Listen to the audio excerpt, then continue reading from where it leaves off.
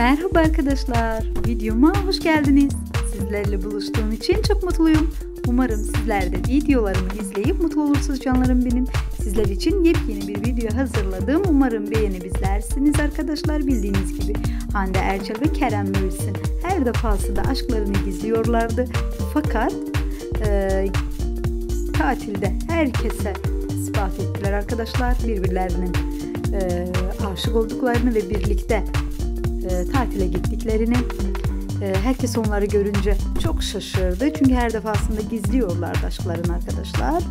E, fakat el ele tatilden döndüler ve bizler de mutlu olduk arkadaşlar onları böyle görünce. Zaten biz böyle istiyordu onların e, sevgili olmalarını arkadaşlar. Benden bu kadar arkadaşlar. Umarım kanalımı izliyorsunuzdur. Videolarımı beğeniyorsunuzdur. Şimdiden herkese teşekkür ederim. Hoşçakalın canım arkadaşlarım. Kendinize iyi bakın.